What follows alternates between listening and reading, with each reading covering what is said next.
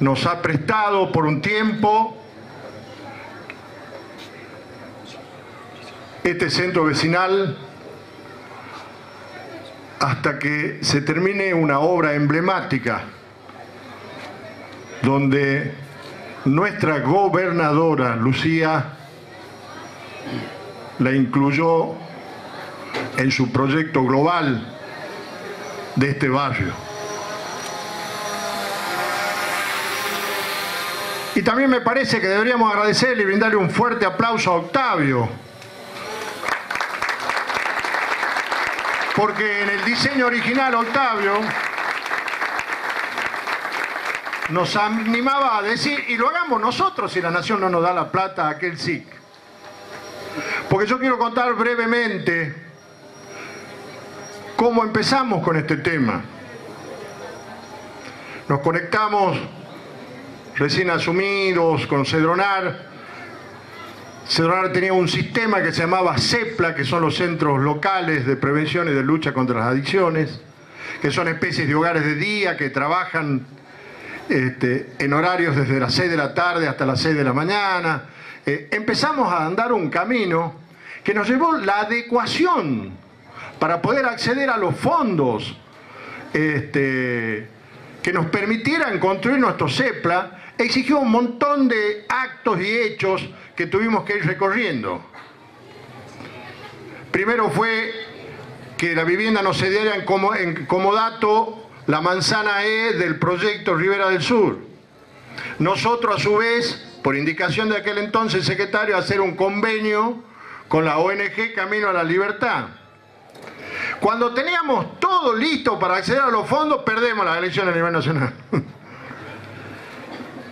La nueva gestión del Cedronar y tiene otra impronta legítima, por cierto, y nos explica que ellos tienen una visión distinta, particular, y que van a hacer mucho hincapié para desarrollarlo a través de la ley de salud mental que digamos es la que rige en general y es el principio directriz de esta temática.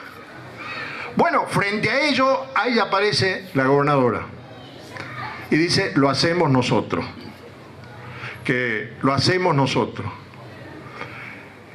El Cedronar, mientras tanto, nos tuvo y está y esto quiero agradecerle muchísimo a la gente que está cobrando cada dos meses un sueldo que le da el Cedronar y que trabaja y ha venido trabajando, que la verdad que nosotros los queremos incorporar gustosos. Yo he hablado para ver si les pueden mantener ese pequeño sueldo, pero para que se incorporen al trabajo integral. Ellos lo han venido haciendo, pero el impulso de, empezar a aplicar metros cuadrados en, en una cosa que en principio estaba pensado con el Cedonar, pero que hoy es absolutamente de la provincia y que tiene por finalidad la contención, la integración de la familia y su problemática. Y dentro de la problemática de la familia está sin duda el tema de las adicciones. Por lo tanto, esta puesta en funcionamiento de este centro vecinal y con el empeño característico del Pocho y la energía de Lucía para transferir fondos para, para la inclusión social, calculamos que julio, agosto podremos estar terminando con algún plazo excedido, sé que lo va a hacer en menos tiempo, el, el SIC en junio, me dice acá el secretario, el Centro este, de Integración Familiar, que es mucho más amplio, está planificado para lo que queremos y, este, que está en la manzana E del, y de este barrio. Pero digo yo, ustedes fíjense en lo que era nuestro ministerio cuando asumió Lucía. Y fíjense en las cosas que le hemos incorporado.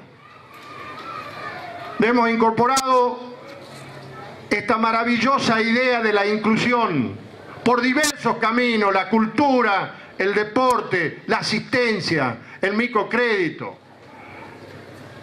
Incorporamos el Centro de Integración e Identidad Ciudadana, ejemplo extraordinario de los sitios vacacionales pagados por el Estado en la Argentina.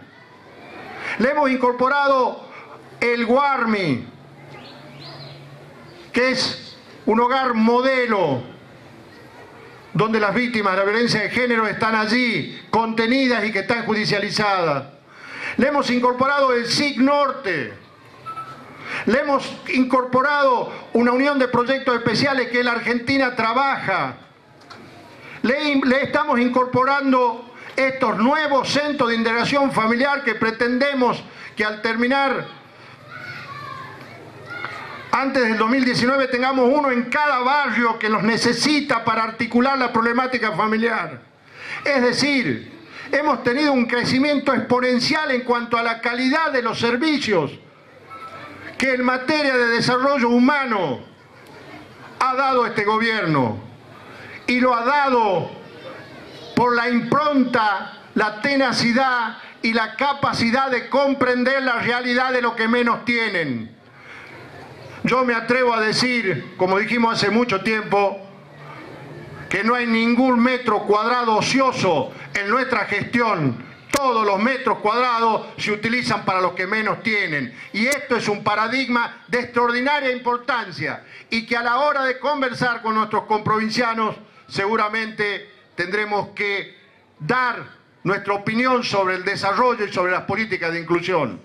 Así que tendremos tal vez muchos defectos, tendremos tal vez muchas discusiones, pero tenemos la firme convicción que estamos frente a un gobierno histórico en materia de desarrollo humano y en materia de desarrollo social.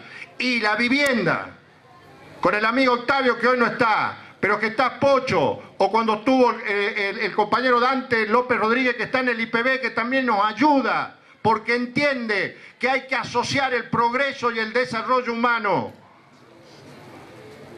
Cuando uno hace una casa es progreso, cuando conforma un hogar es desarrollo, esto lo dice la gobernadora, nos enseña todos los días. Catamarca tiene que ser el lugar donde se desarrollen las personas. Y si es con luz, con cultura, con educación, con asfalto, con cloaca, es fundamental. Pero que se desarrolle la persona humana es clave para entender en lo que estamos haciendo.